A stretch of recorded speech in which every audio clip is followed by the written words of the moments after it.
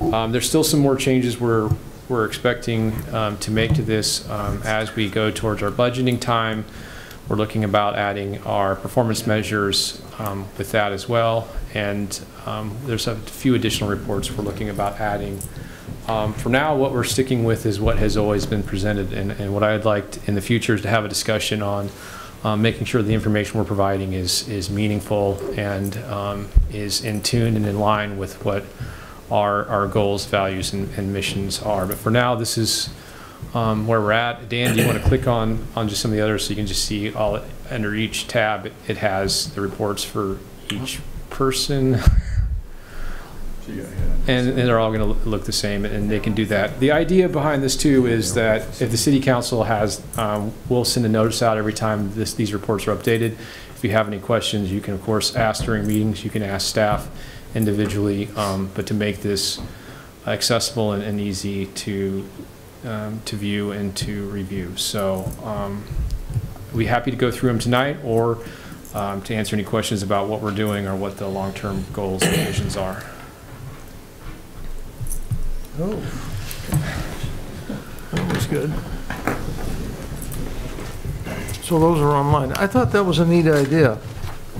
Um, I mean, Just a matter of beating on the computer a little bit and see if it'll come up.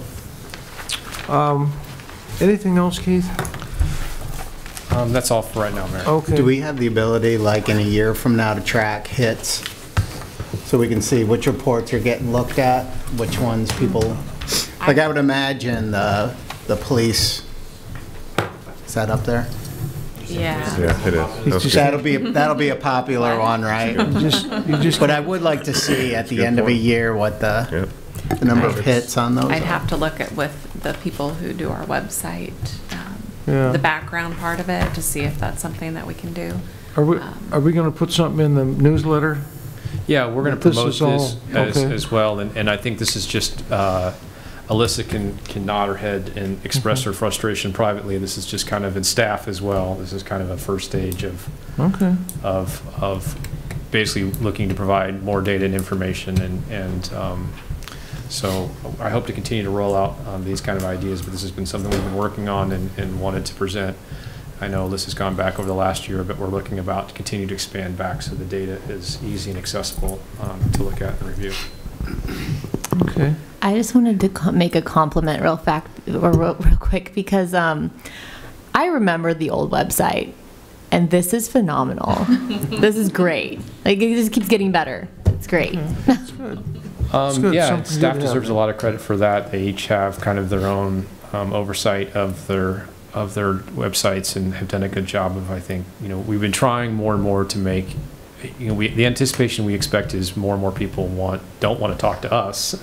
Um, They want to go online and find the information they want to see, so um, that has been our, our goal. And and Alyssa deserves a lot of credit. She spent uh, a lot of time uh, working through a lot of this and has been the person that I annoy all the time, so. Okay. All right. Under business from the chair, uh, we have a chance to, I'm going to call it shadowing different groups. Um, We haven't always been very careful about asking for reports. Uh, What did you see at so-and-so, what did you see at the Parks Board meeting or the Planning Commission? Or uh, did anyone go to the school board meetings? Um, Or maybe the chamber, chamber meetings? But there's, uh, there's a chance to do that, and it's just a matter of where, where your interest lies. Um, I go to the county commissioner meetings, those are the second Tuesday of each month up at the Covered Bridge Cafe. Um, Those are actually really pretty good meetings. Um, There's just a lot of good information there, but if anyone, maybe for next meeting, if anyone would like to, um, say, wanna, wants to go to, need more meetings in your life, needs to go to a school board meeting once a month, or the Parks Board or Planning Commission, or maybe there's some other groups that uh, have an effect, we're affecting them, they're affecting us.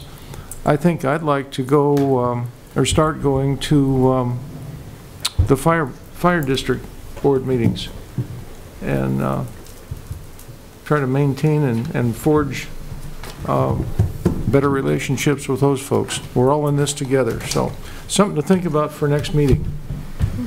And business from the council. Mr. Mayor? Yes. If I would.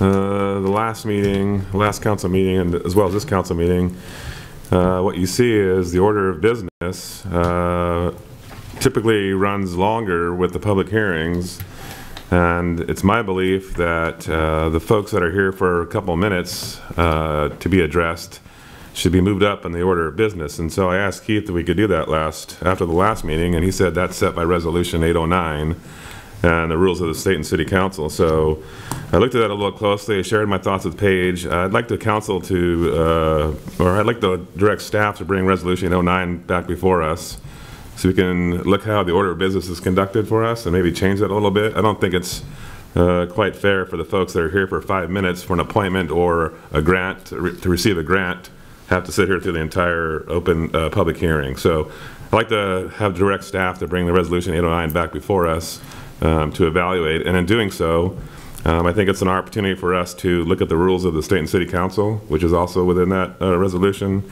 Um, I think there's some things that we can do to address uh, maybe conduct, uh, behavior, etc. So I'd I'd like the direct staff to bring Resolution 809 back as a future agenda item. We'll be happy to do that. We'll put it on agenda for a, a work session, and we'll pull that up and, and look at some recommendations and some possible changes and, and get some feedback, and then try to bring it forward at a future council meeting, so. All right, is there any, is there any other business from the council? One more, one more statement. Mr. Mayor. Go ahead. Uh, Tonight, we uh, nominated Ralph Lew, I'm sorry. What was I going to say? Richard. Richard Lewis, sorry, sorry, I'm thinking of Ralph, to the planning commission. Richard, I gotta tell you, uh, there's no one else out there in this community that I know that puts so much time and effort into volunteerism, and I gotta tell you, thank you for all that you do for this community. Uh, If there was an award for Volunteer of the Year, you got my, you got my vote. There you go. Sec- All right. Thank you, thank you, Richard, from all of us. Um, Anything else from the council? Future agenda items then, for February 4th, Mill Creek Concept Plan presentation, Mill Creek Park Concept Plan, Recycling Award presentation by Republic Services, downtown parking. And if there's nothing else, we're done.